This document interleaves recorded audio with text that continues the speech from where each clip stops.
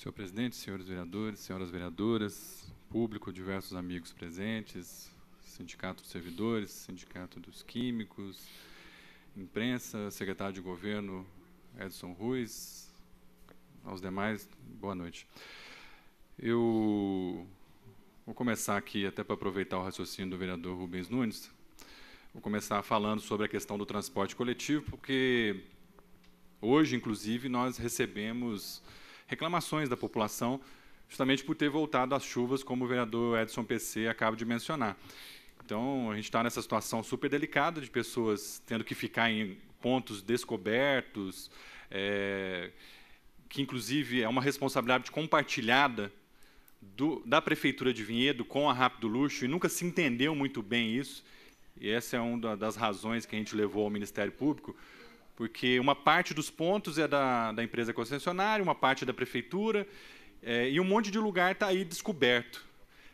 No entanto, para renovar a concessão, que era de 10 anos, de 1999 até 2009, o que é uma coisa muito absurda, você conceder um serviço público por tanto tempo num monopólio. Depois, em 2009, foi feita uma renovação que vence em 2019, ou seja, 20 anos para a empresa lucrar e ter o um monopólio do jeito que ela quiser. Portanto, o mínimo que a prefeitura tem que fazer é exigir as, as contrapartidas e fazer um processo forte de fiscalização, o que não, não é feito efetivamente, e a gente viu aí. Então, o vereador Rubens Nunes tem razão, essa é uma questão colocada na legislatura anterior. Na verdade, é, é uma, uma briga muito grande do povo de Vinhedo com o, o monopólio é, que está instalado na cidade. É, os eixos principais, para não perder muito tempo, não que eu vou perder tempo, porque é um assunto importante, mas porque tem outros. Mas é a questão da lotação dos ônibus, do descumprimento de horários, do descumprimento de itinerários desses ônibus, é, do problema físico dos ônibus, às vezes ônibus que têm problema de manutenção, é, tem pane seca, ônibus que quebra no meio do caminho. Ah, nós não temos em Vinhedo é, bilhetagem eletrônica, então a gente até hoje não sabe exatamente quanto que tem de lucratividade, até para a gente pensar o nosso modelo ônibus que não tem GPS, não estava a questão do GPS no contrato, mas estava no contrato a questão do cumprimento é, de todas essas questões, né, de dar um serviço de qualidade mínima para a população de Vinhedo. É, e além disso tudo, como se não bastasse, nós temos aquela que é talvez a maior tarifa do país. E falo isso com tranquilidade. É, existem locais com o preço do transporte parecido com o de Vinhedo, mas nenhum que anda tão pouco para ganhar tanto dinheiro. Né? Vinhedo, os ônibus circulam 4 quilômetros, 5 quilômetros, a maioria vem da, da região da Capela, é, e é um sistema que não, é, é, não estimula as pessoas a usarem o transporte coletivo. É, é, ele estimula as pessoas, na verdade, a comprar, é, comprarem veículos individuais, encherem as ruas da cidade, encher nossa, o nosso sistema respiratório de fumaça, dióxido de carbono e etc. então é um sistema horrível, né, que, que não funciona. E esse é o nosso diálogo, diálogo com o promotor é, da segunda promotoria, doutor Fábio, no sentido da gente é, alterar esse, esse modelo, para que ele seja um modelo que funcione. Acho que a ideia é boa, vereador Marcos Ferraz, de é, refazer uma constituição, uma comissão de assuntos relevantes.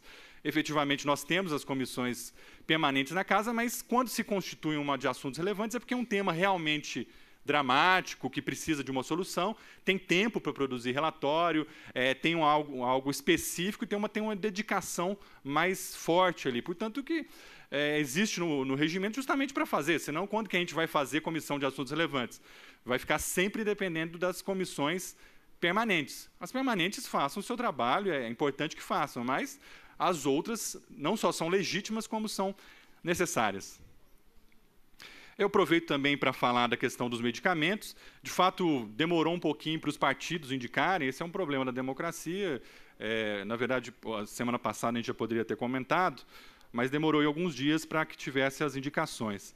Então, eu, eu, já vou falar aqui os nomes da comissão especial, da comissão é, que vai tratar da questão dos medicamentos, e vou convidar os vereadores, é, como vereador propositor e, e presidente dessa comissão, segundo o regimento interno, para uma reunião provavelmente na sexta-feira, mas eu, a gente negocia essa agenda aí, mas a princípio nessa sexta-feira. Então foram nomeados os seguintes vereadores: Rodrigo Paixão, que é o presidente, líder da rede, é, Edson PC, indicado pelo PDT, o vereador Rui Macaxeira, indicado pelo PSB, que é líder também do PSB, o vereador Márcio Melli do PMN, que é também presidente da Comissão de Saúde, é, então, esses vereadores vão compor a comissão de assuntos relevantes é, para tratar do problema de medicamentos, né, desde aquisição, dispensação, é, medicamentos que foram vencidos, enfim, tudo isso que a gente viu aí, um desperdício de cerca de 3 milhões de reais de dinheiro da população de Vinhedo, num momento onde é, faltava muitos medicamentos. Aliás, esse é um dos primeiros estudos, eu já quero tentar apresentar na primeira reunião, que vai escolher o relator, mas eu quero já apresentar um estudo que eu já, já fiz, é, dos medicamentos que faltavam e estavam vencidos no estoque. E não é um nem dois, não. São vários, e é uma questão bastante delicada que a gente precisa, portanto, é, se ater ela.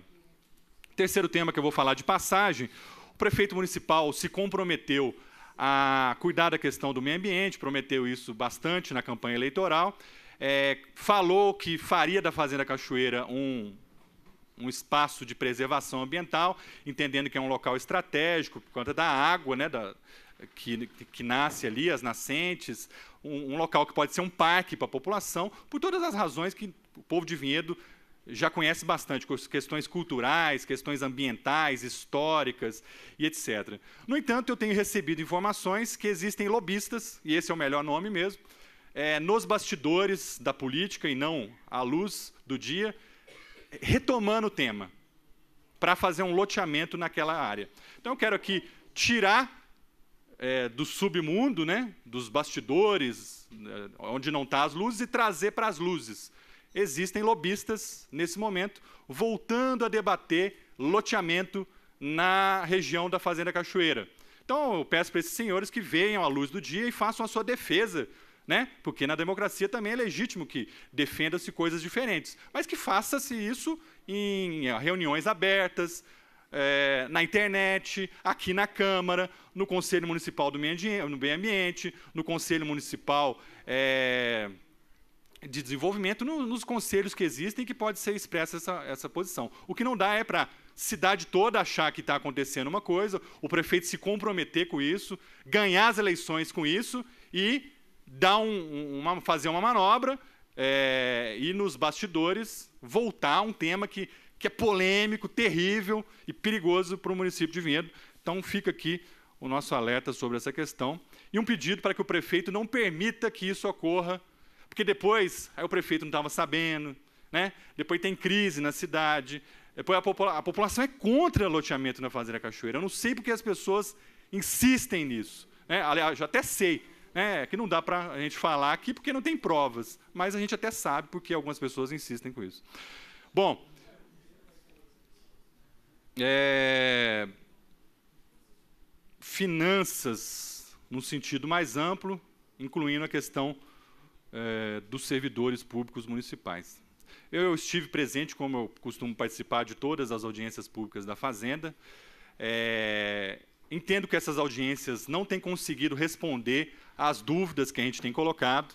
São audiências que são meio atropeladas, os números detalhados não vêm com antecedência, não são detalhadas as despesas como a gente espera, na outra audiência, inclusive, a gente pediu algumas questões que não vieram depois para os vereadores terem conhecimento, e nessa audiência voltou a, a faltar alguns números. Inclusive, a gente solicitou que mandasse e, de novo, não chegou. É uma cobrança aí, cadê? O secretário de governo, Edson Ruiz, estava na sessão, não sei se ainda está presente, mas uma solicitação para que o governo cumpra a palavra e envie para a Câmara o detalhamento das informações para que a gente possa entender a dívida do município de Vinhedo. É, é assustador a dívida ativa, porque a dívida ativa é aquela dívida que é, pessoas físicas e jurídicas, empresas, devem para a cidade. E cerca é, de 170 milhões de reais são devidos para o povo de Vinhedo. 170 milhões de reais de grandes empresas que não entram para os cofres públicos, de pessoas físicas, etc. É muito dinheiro. Muito dinheiro. Até cheguei a parabenizar a prefeitura por ter enviado um projeto para a Câmara que vai, de certa forma, acelerar isso, porque vai passar-se agora a protestar alguns casos. E eu é, me refiro justamente àqueles casos dos, dos tubarões, né? Hop Harry, que deve não sei quantos milhões, esses tubarões aí que não pagam os impostos e deixam a nossa cidade numa situação bastante precária. E o assustador, né, que é, no dia 30 de setembro de 2016, nós tínhamos uma dívida de 57 milhões. Vira o processo eleitoral, surge uma dívida de 109 milhões de reais. É impressionante e eu não consegui ver ninguém explicar isso. Senhores, eu vou repetir. 30 de setembro de 2016, dívida, 57 milhões de reais. Virou a eleição, último trimestre, último quadrimestre, dívida de 109 milhões de reais. Isso não aconteceria nem pedalado, isso é uma moto, isso é uma barbaridade, né? é um, uma moto, como é que você pode dizer? Um moto, motolada, um termo que cunhado pelo vereador Sandro Rebeca.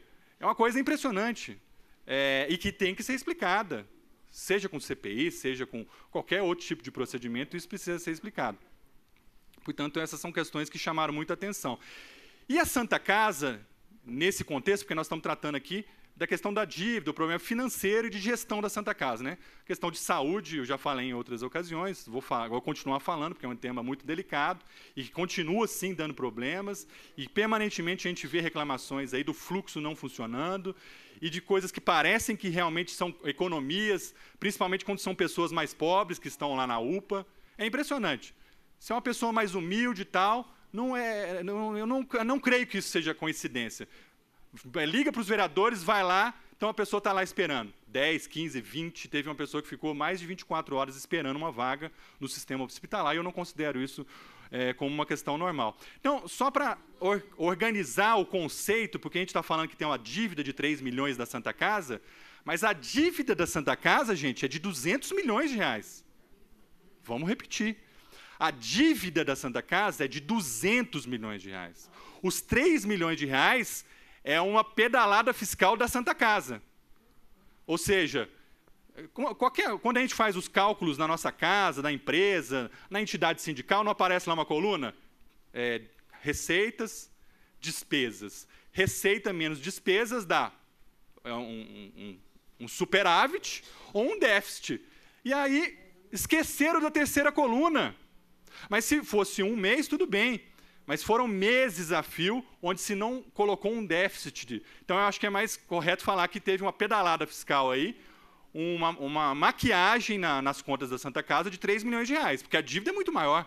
Porque senão a gente fica achando que a, que a dívida da Santa Casa é 3 milhões de reais. E, e o problema é, é, muito mais grave, não é pouco mais grave, é muito mais grave. Portanto, é, essa questão das finanças públicas terá que ser resolvido é, até para que o prefeito dê respostas às demandas legítimas da população de Vinhedo. E eu falei para ele, ele estava aqui na minha frente, na última sessão, falei para ele, tentando expressar um sentimento da população, do problema dos medicamentos, do problema dos idosos, do problema dos buracos nas ruas, do problema dos fornecedores que não recebem, problema das filas de consultas, das filas de exames e outras questões que em Vinhedo estão é, patinando e uma delas está aqui na nossa frente novamente. Aqui está uma representação, são três, quase 3 mil pessoas, 2.700 pessoas, os servidores públicos é, que estão sendo totalmente desprestigiados pelo poder público. É um problema da campanha salarial, mas é um, um problema também do fundo de garantia que não é recolhido e as pessoas às vezes saem ou precisam fazer uma construção no sistema habitacional e não tem saldo. É o problema é, do, eh, do, não, do não recolhimento e do não pagamento do INSS, o que em algumas ocasiões pode ser entendido é, como é, um problema mais grave, né, um problema até é, de improbidade administrativa. Ah, o problema dos empréstimos consignados que são descontados e não repassados ao banco, isso claramente é um problema é, muito mais grave, na minha opinião, e que foi confessado pela prefeitura em requerimentos de anos anteriores, do ano passado, é, mais especificamente, e agora a necessidade do aumento do salário dos servidores, da, do equacionamento, que a gente vai vendo que vai só piorando. Cada decreto que sai é a maldade é, sendo acrescentada. E agora, uma novidade adicional, que é a mudança para o regime de, é, de seletista para estatutário sem debate. Isso nós não vamos permitir. Concluindo, senhor presidente, o sistema tem que ser debatido com os trabalhadores do serviço público. Não dá para o prefeito fazer isso com canetada. Se fizer canetada, vai ter resistência política, vai ter resistência jurídica e todo tipo de resistência. Obrigado a todos e boa noite.